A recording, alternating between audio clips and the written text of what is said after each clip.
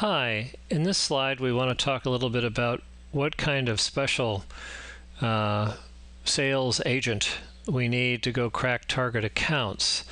Um, yeah, it's a little bit about like, well, who's going to fly in and, and assassinate uh, Osama bin Laden? Well, we don't get the first 10 guys we, you know, that show up that, you know, want to be employed today. We're obviously going to send in the crack Navy SEAL people who have all kinds of special training, etc. So who is the special force uh, uh, 007 kind of uh, creature that would go out and crack these accounts.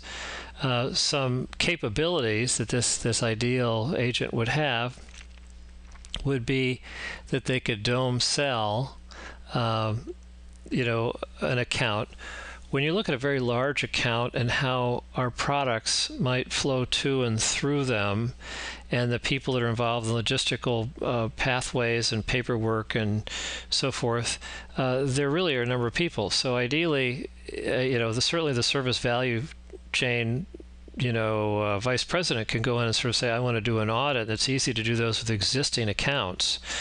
It's not so easy to sort of do it piecemeal uh, and maybe even a little bit uh, uh, stealthily um, when you don't have easy access to an account. But the idea is we want to try to piece together the whole picture of what's going on there and who all the players are and what their little pain points and frustrations are and see if we can't turn them into our friends or buddies or spies or sponsors and so forth uh, to the end where we're, we're, going to try to create a sustainable win-win system solution that's going to go to and through the place and and uh, and tune everybody's uh, effectiveness. Uh, earlier, we talked about uh, on a scale from 1 to 10, a, a, rep would be a 10. Well, first of all, we have to sort of define what a 10 would be. And uh, I've got a slide, because I put it in red, I'm going to come back and visit these terms in, in, in depth in a future clip.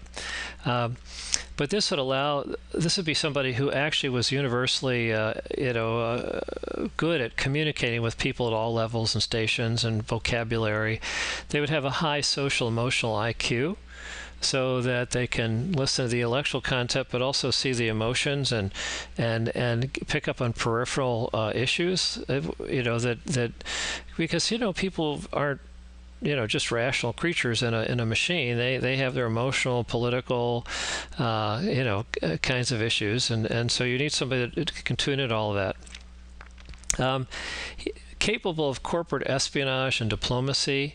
Uh, I remember when I was cracking uh, Caterpillar Tractor Company back in Peoria, Illinois in the mid 70s. Uh, I was going after their copy paper business. And I went over and spent 18 hours over a couple evenings going through all the Peoria Journal Star, the local newspaper's articles on Caterpillar.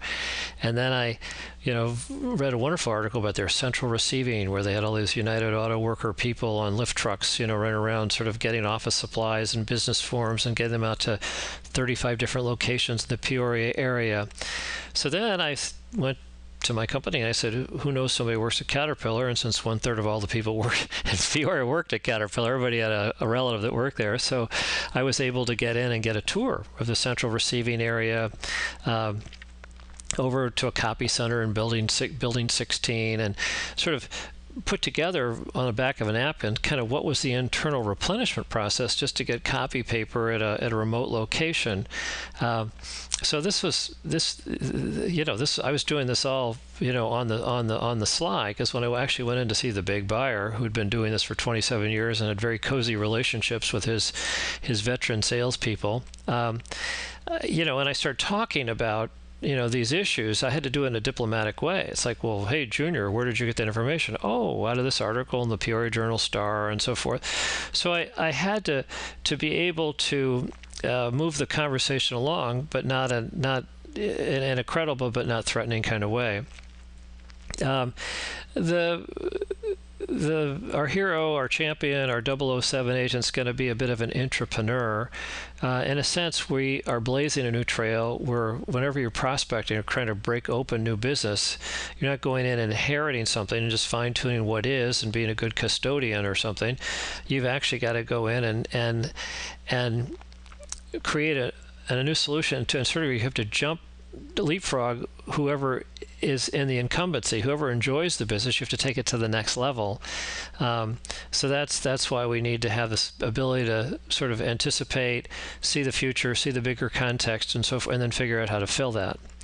Um, obviously, this is going to take a lot of time and energy, and it's very hard to be a monomaniac on a mission when you have uh, 85 accounts that you're supposed to call on a on a on a on a, on a breadman, Doritos chip, stock it, fluff up the shelf, etc. kind of basis. A lot of salespeople um, have fallen into the trap of of having too many customers uh, for which they're they're trying to stay on top of. So they don't really have a lot of extra free, proactive, creative time to hyper focus uh, on the one percent of the customers that are going to give us uh, 50% of our profit growth in the next five years.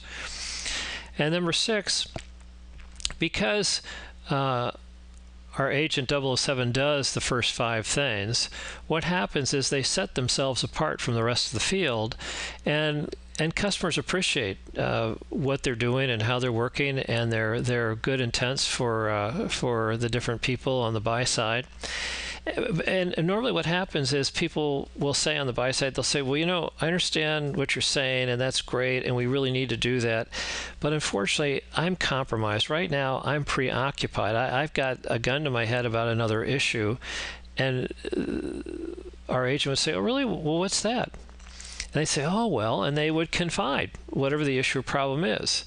And maybe there's a way of helping to ameliorate that, uh, solve it, you know, at the very least, develop more goodwill brownie points to have a better ongoing cooperative relationship with that person. But as a general rule, we get in and we, we, we have a certain goal and we're sort of pursuing that. And, and out of that come unexpected opportunities, but because we're in there, we see it, and we have credibility with everybody else, we're able to take seize that opportunity, even though that's not the original one we, we went after. And that's the story of business. Most people will tell you that started up successful companies. When we started up, we we really wound up succeeding for many of the wrong reasons the wrong way. I mean, give us credit for you know starting up the company and and and being in the right space, but but how things actually broke and how we had to sort of adjust and boogie and why we succeeded were not you just couldn't foresee them but we were able to make it happen. So they have that kind of uh, uh, improvisational uh, flexibility uh, to to to go with the flow that they start to create and and jump on on on on new openings that happen to pop up that weren't foreseen. So those are some um, ideas of, of of what kind of person we need to go out and crack these accounts. It's not it's not really for just anybody. Thank you.